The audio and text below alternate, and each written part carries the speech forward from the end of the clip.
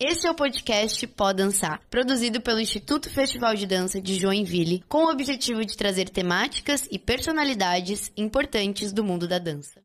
Boas-vindas ao Pó Dançar. Meu nome é Giovana Pérez, eu sou bailarina profissional e comunicadora na dança e também a host dessa edição que está super especial, que é o podcast Pó Dançar.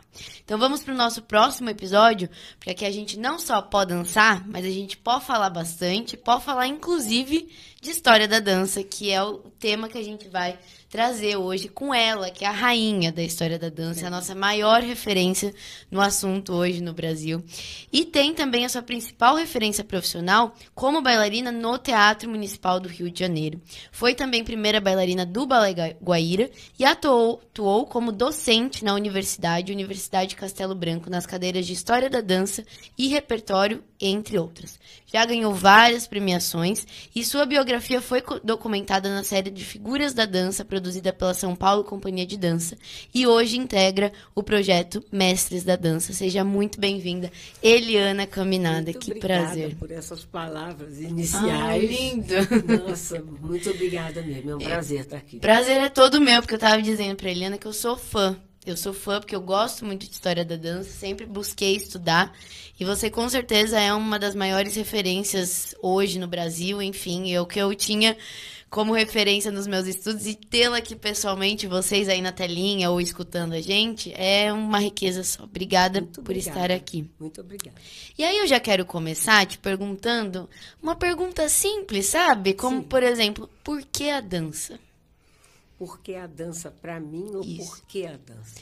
Por que a dança pra você na sua história? Eu não me lembro da vida sem a dança. Porque eu fui muito cedo ao teatro, meus pais adoravam. Eu fui com três anos e a partir dali, da- do que eu me lembrava daquele espetáculo, aquilo norteou a minha vida. Eu nunca mais quis ser outra coisa. Eu queria ser aquela boneca que eu vi, que era do Balé Copélia, Aham. versão de Tatiana Lescova, que tinha um laço enorme, cor-de-rosa, no, na no cabelo. E aquela imagem ficou na minha cabeça e eu queria, porque queria ser aquela boneca um dia. Uau, então você nunca se viu fazendo outra coisa a não ser no Não. mundo da dança. Fiz outra, quer dizer, estudei, etc, Sim, etc, sim. Uhum. como todo mundo, mas o meu foco era a aula de balé, era o balé, era dançar, Tá. e me ajudou muito, inclusive. E por que que te ajudou muito, inclusive? Porque o balé é uma coisa disciplinadora, é uma coisa que disciplina muito, Aham. né? Eu tinha tendência à obesidade, Tá. então o exercício do balé foi super recomendável para mim. Uhum. É, por outro lado, essa disciplina me ajudou a fazer dieta, Entendi. a, a aceitar as- o sacrifício em nome de uma coisa que eu adorava. Que legal. que, que adorei a vida inteira, né? É. E você acredita que a dança, a cultura, a arte, ela é tão enriquecedora para nossa evolução é, como educação no Brasil? Eu acredito plenamente. Eu tenho, inclusive, uma ideia que nunca deveria ter se separado a educação da cultura. Para mim, continua sendo Ministério da Educação e Cultura, porque eu não imagino educação sem, Uhum. Sem cultura. cultura. Né? Eu não sei por que se separou, acho que não foi bom, Uhum. porque nós já tivemos uma vida cultural muito mais rica do que temos hoje. Isso é verdade. Né? Quantos jovens a gente tem hoje que não conhecem, nunca foram a um teatro, nunca foram a um museu, né? Nem sabem o que é. Não, não conhecem assim. Eu estava ouvindo outro dia um advogado falando do G. Dias, que é um general, né? E alguém perguntou nos comentários por que, que se chamava G. Dias. Uhum. E o advogado disse que porque parece, parece que tinha um, um político chamado com esse nome, Gonçalves Dias. Ele é advogado e um advogado preparado. Aham. Ele nunca ouviu falar Não no sabia. poeta Gonçalves Dias. Isso me assusta, sabe? Exatamente. E como que você acredita que a gente consegue chegar mais essa informação sobre dança, sobre cultura, sobre arte no público nos dias de hoje, um- um- os dias que a gente está cada vez mais relacionado a telas, né? Como que você acredita que a gente pode ampliar mais essa educação? Olha, eu acho que, antes de tudo, falta uma política cultural no Brasil. Uhum. O que se chama cultura? Primeiro, cultura é uma coisa muito ampla. Exato. É. Né? Que, que, é, que é vendido como sendo determinado tipo de show de atividade de, eh, de fácil apelo popular. Sim. Eu acho que falta um investimento mesmo na cultura, porque eu já participei de coisas, diz, dizem que o povo não gosta, que o povo não quer, que o povo não é sensível. Gente, eu já participei do Projeto Aquários, eu sou carioca, moro no Rio. Né? Projeto Aquários acontecia na, na, na Lagoa, da Quinta da Boa Vista, armava-se um tablado em cima da lagoa e as pessoas, então, é, é, ali havia as apresentações de graça para o público. Eram apresentações de orquestra e, às vezes, de balé também. Olha, quando nós dançamos... Posso tomar um pouco? de? Claro, com certeza.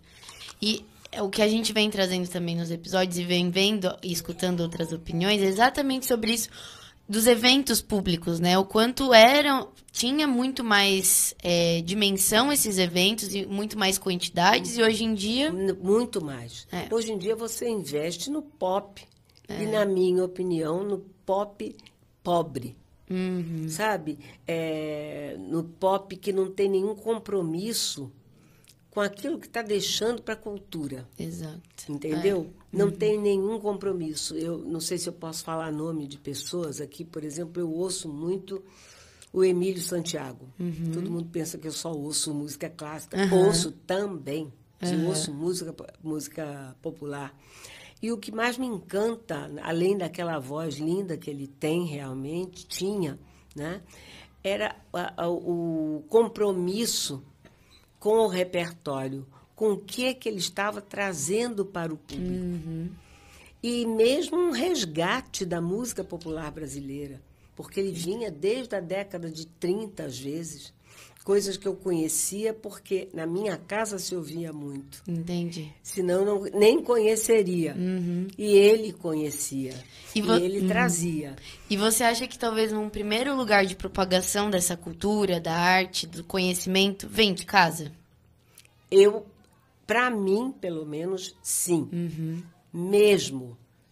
E eu acho que isso é uma é um buraco que ficou na educação, porque quase todas as referências que eu tive na minha vida, pelo menos as primeiras grandes referências, foi por intermédio do meu pai.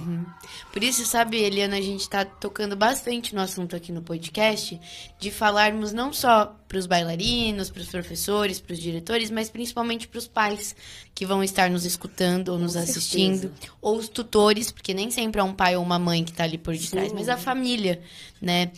Porque se a gente cresce num ambiente que onde não é alimentado a cultura desde cedo, né, ou pelo menos mostrar que existe, né? Esse filho, essa filha poderá somente ter contato na, na educação e às vezes na educação também não supra essa necessidade Não. e cresce adultos que realmente não têm esse conhecimento do que a arte pode ser no Brasil, né? Nossa, e eu, eu já vi coisas assim. Esse projeto Aquários, por exemplo, chegava a levar 500 mil pessoas Uau. à Quinta da Boa Vista para assistir Lago dos Cisnes, para assistir concertos da, da USB, Orquestra Sinfônica Brasileira. É, eu vi espetáculos do Balé Mariinsky, por exemplo, na Enseada de Botafogo, que eu disse, nunca mais eu entro aí, porque você entra, não consegue sair. É gente demais. Você estava num, num bairro onde eu moro, no Flamengo, Tá. e toda a extensão da praia, toda, até a gente não via o fim, Entendi. de gente para assistir o balé. Olha só. Quer dizer, existe um interesse, uhum. existe uma curiosidade, pelo menos, é, de assistir. Uhum. E, mas eles não têm oportunidade. Sim, sim. No próprio Teatro Municipal, você tinha, quando tem a um real aos domingos, aquilo é super lotado. É, eu imagino. Então, talvez esteja faltando também não só o espaço, as oportunidades abrirem, mas as pessoas quererem fazer, né? Quererem mostrar e as condições, como que a gente pode trazer, né? Porque às vezes é, o grande empecilho também é o financeiro. Mas como é que eu vou promover um evento se um governo não apoia, se eu não tenho um apoio financeiro? Como que você enxerga isso, Eliana? Qual que seria uma solução, talvez? Eu acho que a arte erudita, a chamada grande arte, as grandes orquestras, as uhum. grandes companhias de balé, eu falo companhias de balé mesmo, Sim. não grupos. Ah, tá. tá? Uhum. É, eu acho que essa, essa arte precisa sim ser patrocinada pelo, pelo governo com a iniciativa privada. Tá. Eu acho que falta é, no empresário brasileiro essa ideia uhum. de que arte e cultura é uma, é uma marca Exato. de valor. Que não é só futebol. Né? Não, não é só futebol, não é só artista pop uhum. é, da moda no momento. Exato. Né? Eu acho que falta muito essa noção que o, que os Estados Unidos têm, por exemplo. Uhum. O empresário Sim. que investe no American Ballet Theatre é, é, é uma é uma grife uhum. daquela empresa. Sim. Aqui não se tem essa noção, é. né? Eu acho, porque o governo, agora o governo tem que entrar. Acho que você, quem tem recursos, meios de chegar ao empresariado para produzir sua, seus projetos, esse não tem que ter nada do governo. Entendi. Entendeu? Uhum. Acho que você, quem tem já muito nome, já tem muito, muito dinheiro para investir e correr o risco. Deixa espaço para os outros. Né? É, exatamente. Uhum. Porque corre o risco. Sim. Sabe? Produz, se der certo, deu. Se não, se der, não certo, der certo, você perde. É uhum. parte para outra. Exato. É uma coisa que eu admiro muito no Juca de Oliveira. Ele uhum. tem uma noção muito clara do que é produzir um espetáculo. E que essa produção é que traz a qualidade. A, o, o, ele, ele, diz que, por exemplo, a Lei Rouanet acabou com o teatro. Uhum. É uma opinião dele que eu acho que vale a pena ser, ser ouvida. Sim. E por que, que ele acredita que a Lei Rouanet acabou com os teatros? Porque ele diz que quando você está com dinheiro no bolso, tudo pago, você hum. não tem mais compromisso com a qualidade, é. com, com o retorno do público, tanto faz, porque você já tem o dinheiro, ali já está garantido, é um caminho para, a longo prazo, você acabar com a qualidade. É, isso é verdade. É entregar de uma forma responsável também, né? E cabe muito autorresponsabilidade de quem está à frente desses projetos, claro. quem faz o uso de fomento, né, de editais, etc. Saber como produzir da melhor forma, não só para si, né? Sim. Mas pro, principalmente para o outro. Ele fala, linda, ele fala, eu penso numa coisa e aí eu ligo pro fulano. Uhum. Fulano, eu tive essa ideia assim, assim. Aí o fulano fica, eu vou aí para falar com você. Daqui a pouco você tem um grupo de pessoas interessadas naquilo e começam então a ensaiar e a, e a pesquisar e, e uhum. no fim entrega nas mãos do público o resultado é daquele, é daquele trabalho. E aí é sim a missão que vai é. avaliar. E aí sim a missão tá, tá feita, né? Tá, tá cumprida. Exatamente. E aí agora conversando, né, entrando na nossa temática de história da dança, Eliana, Olha, é outro. Desculpa, Não, mas fica à vontade, por favor. A história da dança é com certeza também um pilar muito importante dentro da dança. E o que a gente vê é que muito dos, das pessoas que fazem dança não se interessam, né? Nada. Uh, e é o que é muito triste, porque é, traz um enriquecimento muito grande para as carreiras na dança, seja você bailarina, professor, diretor, coreógrafo, ensaísta, enfim. Como que você acredita que essa importância na, na dança para cada indivíduo pode, in, de fato, impactar a sua carreira? Olha, uma coisa é você dançar um personagem, você interpretar um personagem que te deram sem você ter a menor noção do que, que ele representa, do que, que ele é, como ele foi criado, quando, onde uhum. foi criado. Outra coisa é você ter absoluta, absoluto conhecimento daquilo. Sim. Em todos os sentidos. A, o, a própria história da dança, ela é extraordinariamente rica. Eu acho que ela daria, inclusive, uma grande contribuição à arqueologia. Se Com eles certeza. se interessassem pela história da dança. Uhum. É porque a dança é uma arte muito relegada a um segundo plano. É, isso é verdade. Né? Você vê belas artes, não cabe dança, uhum. porque é uma arte efêmera, uhum. não é belas artes. Entendi. É, literatura conhece-se bastante, tem uma divulgação enorme. As grandes obras literárias, nem uhum. tanto, mas tá. o best-seller, pelo menos se lê. Né? A, a música tem uma, uma boa repercussão, embora não seja a que devia ter, tinha que ter mais. Uhum. E o teatro, que eu acho que já é um pouco abandonado, precisava mais, mas a dança é completamente relegada. Entendi. Eu me diz, eu até briguei com um projeto muito bom de educação, que eu acho muito bom, porque eles não falam em dança. É. Isso é um projeto de educação e não cabe a dança aí. Exato. Não tem uma pessoa aí para falar sobre uhum. dança. Não tem cabimento. Sim. Aí sair do, do, do, projeto. Uhum. Porque realmente eu cansei de falar e de Sim. pedir. Aí quando bota, bota uma coisa já super batida e qualquer pessoa para comentar. É, isso, isso que é a questão, né? As fontes dessas informações. Porque a questão é, às vezes a gente não precisa realmente, de fato, esperar um projeto, esperar algo muito grandioso, uhum. abrir uma porta ali.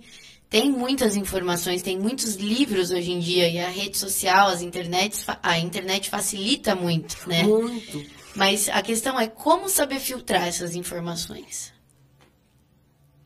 Olha, eu não sei nem como falar em filtrar informações, porque elas não são nem procuradas. Entendi. Eu tenho um canal, por exemplo, uhum. de, onde eu boto lives minhas, boto, boto filmes que são que não são comuns, que não são encontrados no YouTube, né? entendeu? E você não tem, você não consegue reunir mil pessoas é. ali. Você faz uma live tem mais de uma pessoa fazendo, de, de, com, com conhecimento, com bagagem, mas tem quatro, cinco pessoas que assistem. É. Enquanto tá fazendo a blogueira do momento ali, um, um qualquer nada, né? Exatamente. E não, cada um tem o um valor ali do seu trabalho, claro. tá tudo certo. Mas é, senão a gente acaba alimentando uma arte vazia, né, Eliana? Uma dança vazia. Claro, claro. Eu, eu vejo coisas assim espantosas você vê meninazinhas dançando, às vezes, uma variação. Hum. Que você, quando você pergunta ao professor, você sabe o que, que ela representa para você ter escolhido essa variação para uma categoria júnior. Uhum. Ah, ela é uma fadinha. Não, ela não é uma fadinha. Ela é uma bacante. Uhum. Aquilo é parte de um ritual. Entendi né, dionisíaco. Uhum. É, uma, é uma bacanal. Uhum. Né? E às vezes não faz nem sentido o papel para criança, não, né? Para bateria. Faz, não faz, uhum. não não deveria nem não deveria, poder. Exato. Né? Ou então a menina que vem vestida de verde dançando esmeralda e acha que é a pedra. Não é a pedra, é o nome da personagem. Sim. Que é Esmeralda, é. né? Então você acredita que a história da dança poderia e deveria estar muito mais relacionado à formação de um bailarino? Acho. Uhum. Acho. Acho que já existe algum estúdio preocupado com isso. Uhum. A escola do Bolshoi, é. claro, dá essa formação fantástica para eles. Mas os professores, em geral, eles uhum. estão preocupados em olhar a variação que vão levar para pro, pro, os diversos técnica, né? festivais. Né? Uhum. Né? Eles não têm interesse é. em saber conhecer, está por trás. em saber, e mesmo a história da dança, a história do. Claro. A história da dança eu nem falo, que é uma coisa enorme. É. Né? Uhum. interessantíssima. Sim. Sempre que eu dava aula ou palestra, eu perguntava qual é o astro que inspirou mais danças. Aí fica todo mundo, todo mundo tem medo de responder. Uhum. Não é, falem alguma coisa. O que, uhum. que vocês acham que inspirou mais dança? O sol, a lua, as estrelas? Aí eu canto um pedacinho só, pelo amor de Deus, não vem agora que a morena vai logo embora. Aí você já sabe uhum. que é a lua que, é a lua. que uhum. inspira. E uhum. tem motivos para isso. Porque Entendi. ela se apresenta ao longo de um, de um mês de muitas Essas maneiras formas. diferentes. É. Além do mistério da noite, uhum. né? Sim. Do mistério que devia ser para o homem primitivo, aquele astro que cada dia se apresentava de, de uma maneira diferente. E assim por diante, tem muita coisa interessante Sim. da história Sim. da dança. Mas você não quer ir na história da dança, vai para o balé, pelo menos. É vai para alguma coisa, algum lugar ali da história, é, né? saber, é. nem que seja a partir de Luís XIV, a partir Exato. da criação da academia, uhum. é. ou a partir de quando Catarina de Médici leva o balé para a França. Sim. Já cansei de ouvir onde o balé nasceu na França. Não. Não. Não nasceu na França, nasceu na Itália. Uhum. E, e quanto à história da dança e esses conhecimentos, eles podem trazer mais valor para a dança como um todo, mas para a dança também profissional né? Porque quando a gente sabe falar com propriedade aquilo que a gente está dançando, aquilo que a gente está fazendo, ou aquilo que a gente está dirigindo, as pessoas vão começar a olhar a gente com outros olhos. De repente, por exemplo, por que a medicina é tão vista, né? Porque quem está lá sabe falar sobre medicina, sabe, estuda, sabe falar, né? né? Exato. Agora a dança é tão bonita quando encontramos, por exemplo, a Eliana Caminhada e outros profissionais também da área sabe sentar e ter uma conversa para além de quantas piruetas você gira no palco. Sim. É, é, o inter, é o interessante, né? A gente fala, nossa, é um profissional interessante, é um estudante interessante. Então, eu acho que isso também tem a ver com a valorização da nossa profissão, né? Com certeza. Porque o bailarino sempre teve fama de bonito. É e vazio. Exatamente. Esse né? ponto. Uhum. E, e, e, isso é culpa dele. Sim da falta de interesse que ele tem nas grandes companhias de balé, você acaba adquirindo uma bagagem cultural enorme, porque você trabalha com muitos métodos de balé, muitos coreógrafos. Você está num meio cultural muito rico, que é a, Europa em si, o, mesmo os Estados Unidos, o que, que eles oferecem culturalmente ao povo não dá para comparar uhum. com o Brasil. Então, mas o Brasil precisava buscar essa informação. Com certeza. Porque você é. só tem uma companhia de balé. Uhum. Companhia mesmo, mesmo, que eu digo. Que, que, com perfil de grande companhia. Quer dizer que tem, trabalha um com orquestra. Também, né? Uhum. É, tem orquestra, não trabalha com fita, uhum. trabalha com orquestra, eventualmente com coro, dependendo da obra montada. Sim e, e você pode, eh, você precisa, é, é, mas você não tem, você só tem uma. Muitas vezes está numa época mal dirigida, você não tem para onde ir, ou você uhum. sai fora, para fora do Brasil, que Sim. é o que está acontecendo com, com nossos muitos, bailarinos, é. uhum. todos. Todos, praticamente. Todos é. os bons, mas tem bons que ficam. É. E os que ficam não têm chance. Uhum porque isso vem bastante da formação que o professor proporciona ao Exato. aluno, se ele não tiver de casa. Uhum. Porque Perfeito. a casa pode dar muita, muita informação. Perfeito. Então, por isso que a gente até sempre traz os apelos aqui para o podcast, as sugestões. Né? História da dança é algo que deveria ser básico, né? Assim como o plié, o tanju de cada dia, conhecer um, um, básico ali da história da dança para você passar para o seu aluno ou você que é aluno, né, se interessar. Você não precisa também precisar esperar pelo professor chegar com a informação. É o que a gente disse, né? Tem tanta coisa hoje já disponível na, na internet. E hoje é tão fascinante estudar é. história da dança porque você tem esses recursos. Também. Quando eu era menina, que estudava história da dança na escola de danças, uhum. na escola de dança sempre teve. Mas tudo que você tinha era livro. Sim. Que você ficava sem, imaginando como seria a, a, o balé que a foto mostrava ali no uhum. livro. Você não tinha a menor ideia de como aquele balé era, na verdade. Né? Você só tinha a foto, você só tinha o livro e o texto. Uhum, uhum. Né? Hoje não, você tem, tem prazer. Coisa, é de poder assistir aquilo Sim. e procurar saber Exato. quem é o coreógrafo, quem, que coreógrafo é esse, Sim. quem é Esmeralda, quem é Vitor Hugo. Uhum. Aí, aí, você começa a ir longe é, nisso, é, né? Exato. Conhecer um autor literário, uhum. conhecer um coreógrafo como Roland Petit, que Sim. fez Corcunda de Notre Dame. E, e, e você começa a entender por que, que ela passa o o pandeiro, mas ao mesmo tempo, por que, que ela não pode ter olhar? Porque ela é pura, ela é uhum. só livre. Uhum.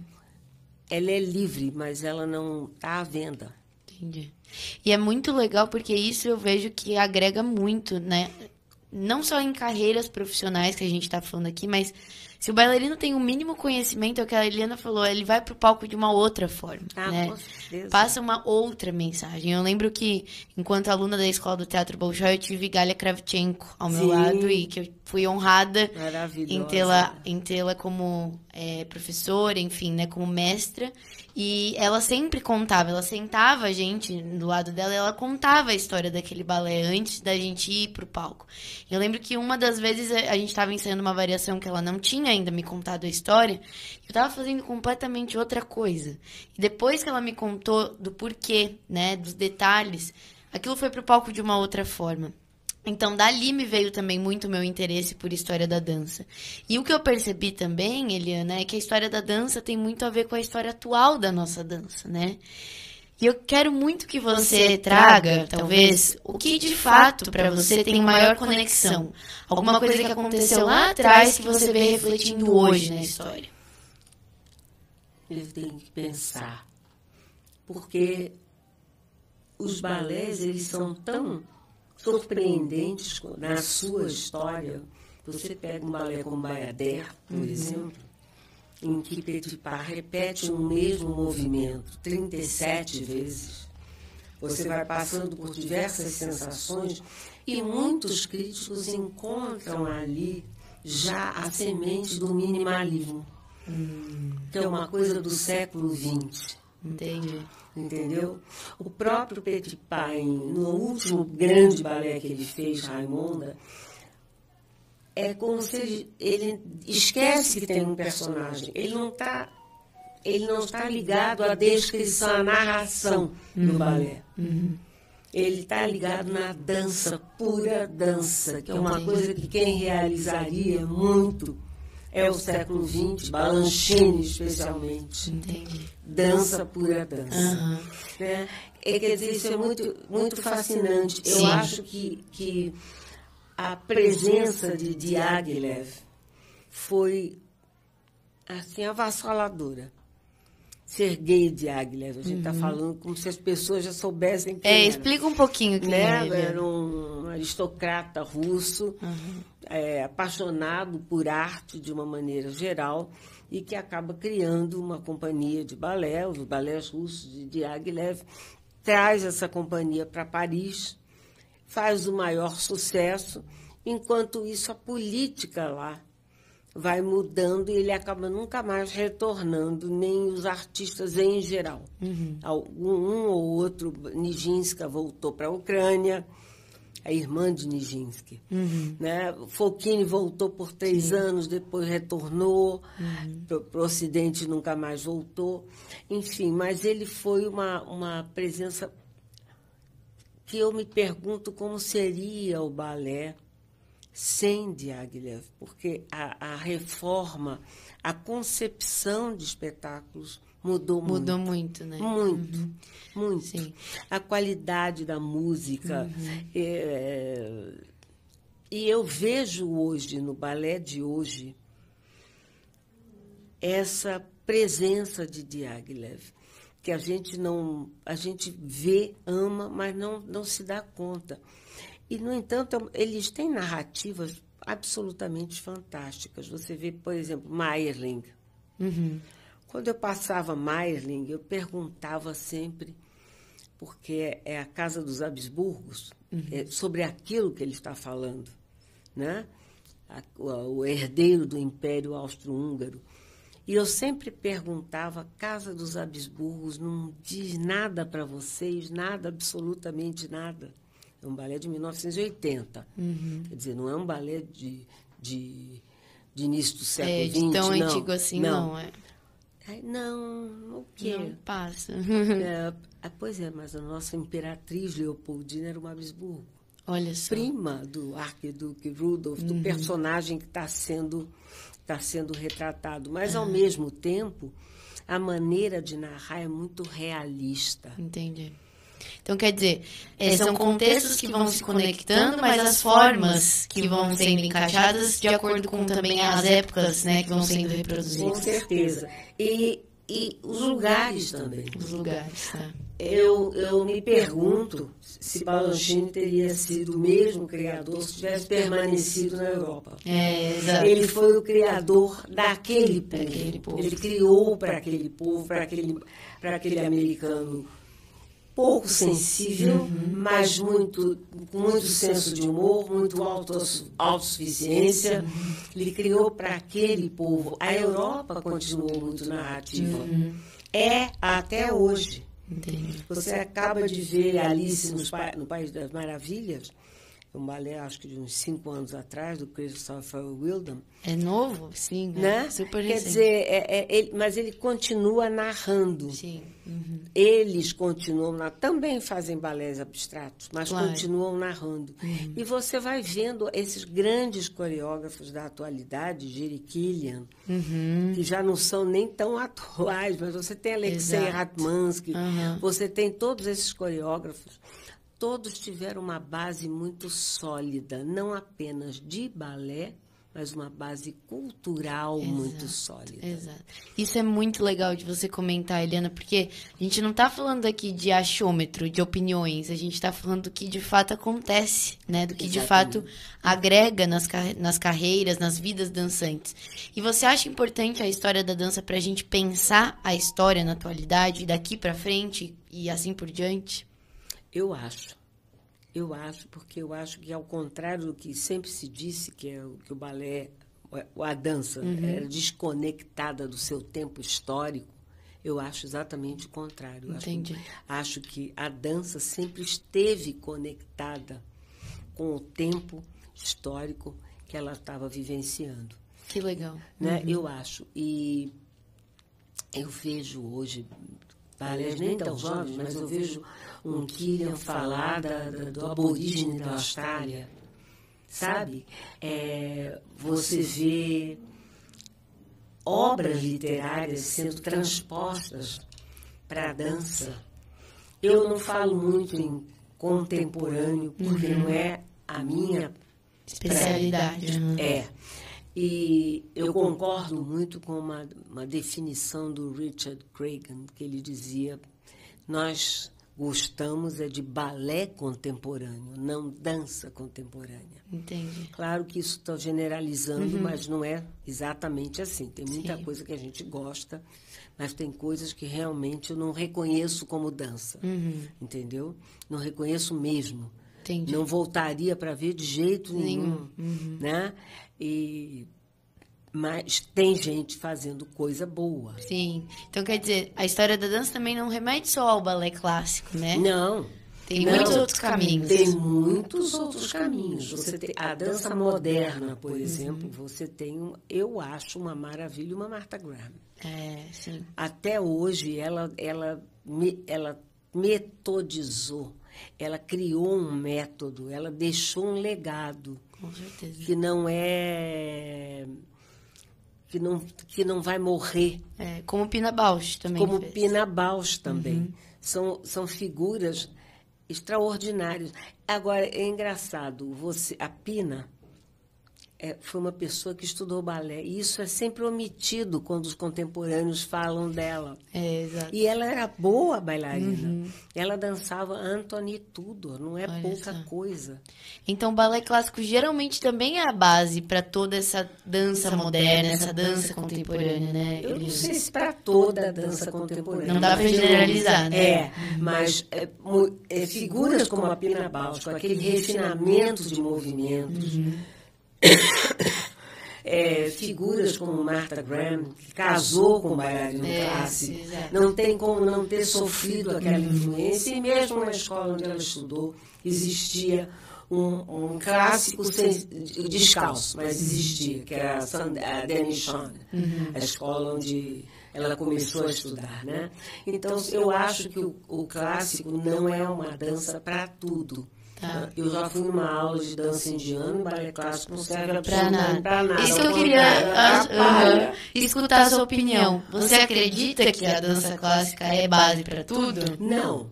Tá. Não, porque pô, a Índia, por exemplo, tem nada a ver com o balé Aham. clássico. Eu acho, eu nem conheço companhia que tenha vindo da, da, da Índia, até porque eles têm, eles se bastam. Entendi. Eles não têm necessidade de importar uma dança. Você pode me dizer, e o Brasil tinha necessidade de importar uma dança?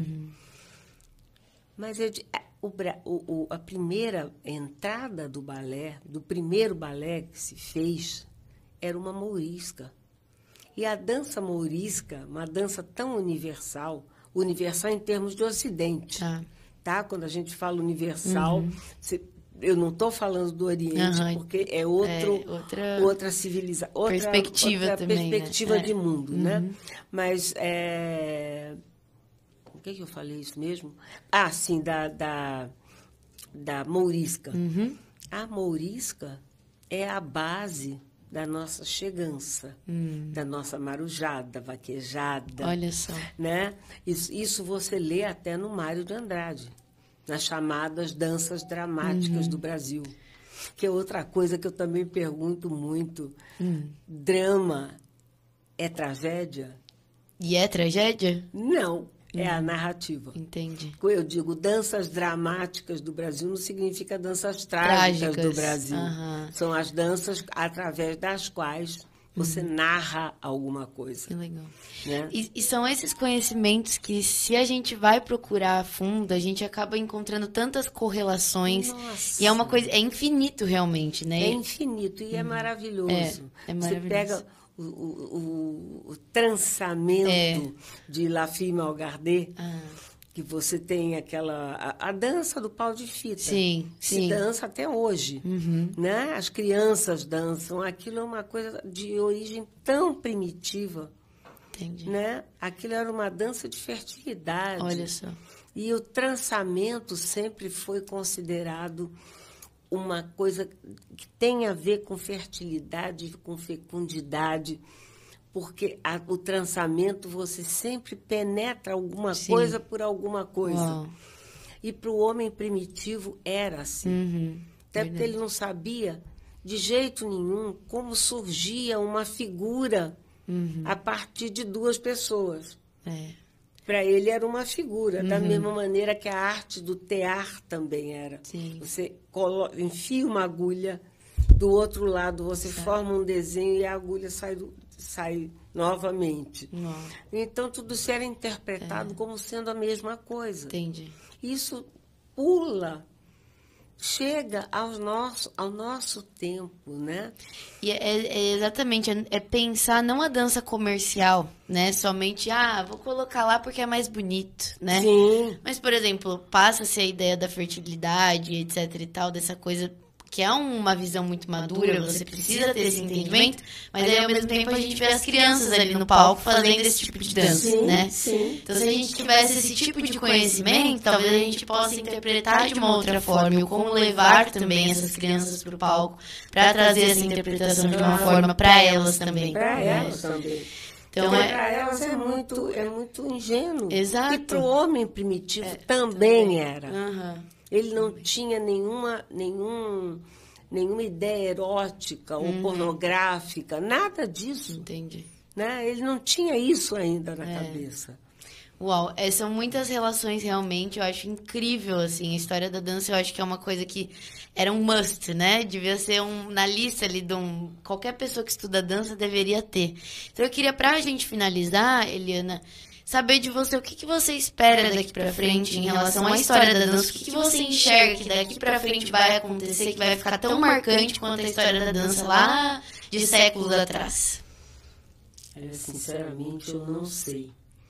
porque a gente estava vivendo, um, vivendo um momento tão conturbado, uhum. no qual eu me sinto tão pouco. É, tão pouco à vontade. Entendi. Eu não tenho nada a ver com, o, com o momento Como? que a humanidade está vivendo. Entendi. Entendeu? Nada. Eu, eu me considerava sempre uma pessoa progressista, porque uhum. eu fui uhum. criada assim. Tá. Tá? Com, com pais que não tinham. Eu casei com um bailarino. Uhum. Né? Para felicidade dos meus pais. Isso há 56 anos atrás. Né? Então, isso não era uma coisa tão comum. Não. Então, eu achava que eu era uma pessoa super avançada, uhum. como eles eram. Sim. Hoje, eu me vejo uma pessoa conservadora, porque eu acredito na família. Entendi. Porque eu acredito em Deus. Uhum. Porque eu acredito nos valores com os quais eu fui criada. Uhum. Então, eu me sinto tão. Eu vejo coisas que eu digo, mas como assim? Né? Como Deus não? Uhum. Porque tudo que acontece de ruim é com gente que fala de Deus. É, é, ainda hoje eu ouvi mesmo uma coisa assim. Uhum. Então eu não sei o que, que se vai fazer com a dança. É Principalmente é. aqui no Brasil. No Brasil. E o Brasil está tão, tão, tão pobre em matéria vazio, de né? cultura, é. tão vazio. Né? A gente quer muito levantar a bandeira de que existe dança no Brasil, existe arte, cultura, mas para isso a gente precisa ver as pessoas moverem, né? Claro. Nós somos peças na, no mundo da dança, com certeza, mas se uma pessoa só, duas pessoas fazem, não adianta. Né? Claro. E a gente tem tanta coisa. Outro dia na festa dos 40 anos. Sim. Como foi linda aquele, é. aquela apresentação Exato. do Bumba Meu Boi. Que coisa linda que foi. Como estava bem apresentado. Uhum. Com que capricho, né? É. Um grupo daqui de Joinville. Exato. Né? Que não necessariamente também precisam ser grandes renomes para fazer marcas Não. no mundo da dança, mas se constrói com o pequeno, né? Com aquele Claro. que tem um entendimento real do que é a essência Do da que dança. é a essência, daquilo que está fazendo, né? Exato. É. Mas você não vê espaço para É. isso. Você nunca vê, você não, não- não liga ah, o computador, vai no YouTube e você. Olha, é uma luta para você encontrar um maracatu, É. para você encontrar qualquer dança folclórica brasileira bem dançada. É, é difícil, É, verdade. Hum. sabe? No entanto, nós somos tão ricos de Exato. né? de, de, de ritmos, de Uhum. danças, de tudo. Sim. Eu sou, a- eu sou uma apaixonada pelo Brasil. Eu acho Eu que o Brasil é um país. Eu acho que é o país do futuro mesmo. Com certeza. Eu acho. Então, pra gente finalizar agora de verdade, o que, que você deixaria de mensagem pra nova geração? Que eu acredito que a nova geração é o que pode e poderá mudar, né? Esse cenário todo em relação à dança, em relação à cultura. Eu acho que a, a nova geração precisava buscar mais educação e cultura. Uhum. Educação associado à cultura. Cultura. não se conformar com aquilo que é apresentado para ele, para aquele pacote, aquele embrulho É. feito que a televisão mostra, Sim. que, que é a mesma coisa que o, que o rádio Sim. toca, que é a mesma coisa que você vê no YouTube. Não. Uhum. Ser um Sabe? questionador é muito Cê- bom. Eu né? acho, eu acho. Eu acho que você tem que. Esquece a dança dos famosos. Exato. Sabe? Não, isso não vai levar a nada. Ali é o entretenimento, né? É o um lugar de entretenimento entretenimento. puro entretenimento Exato. sem nem, que não deixa nada. Uhum. Sabe? Eu acho que você- eles têm que procurar sim, até levar para os pais de volta Uhum. esse tipo de interesse que os pais perderam ao longo do tempo. Isso. É isso. Eu, eu vejo em casa, inclusive, com filho, com nora. Uhum. É, é uma luta minha, É, particular. exato. E é esse lugar da educação, né? Que a gente pode estar Com fomentando cada certeza, vez com mais. certeza. Eliana, foi um prazer estar aqui com você. Obrigada, eu, particularmente, estou emocionada de estar Imagina. assim com você, porque você é um grande renome. Você é uma das pessoas que eu, no meu processo de formação, eu, eu escutava tanto e hoje tendo ela aqui na, na minha frente, eu falo assim, ai, que legal. E vida longa a história da dança, a informação e a educação. Muito obrigada pela sua presença e por ter estar aqui fomentando também esse lado educacional Olha, que a um gente tem. prazer estar aqui. Não sei se eu respondi Tá, a todas as questões. Ficou São ótimo. questões às vezes difíceis. Mas perfeito. Muito obrigada pela sua participação. Obrigada a vocês. Obrigada pela participação de você que vai estar nos assistindo ou nos escutando logo mais. E lembrar que tem episódios dessa nova temporada já no YouTube e no Spotify. E a gente se vê no próximo episódio da temporada do podcast Pode Dançar. Obrigada, gente.